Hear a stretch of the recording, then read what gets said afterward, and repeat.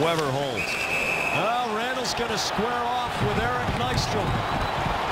Right on the spoke B. They engage. Nystrom trying the right. Couple of hard rights. Nystrom taking a pounding right now. Oh, Randell just drops him. He's leaking pretty good. Tyler Randell, a cult hero in the making. He's got four goals. He's got three fights. He's got a bunch of teammates who love him.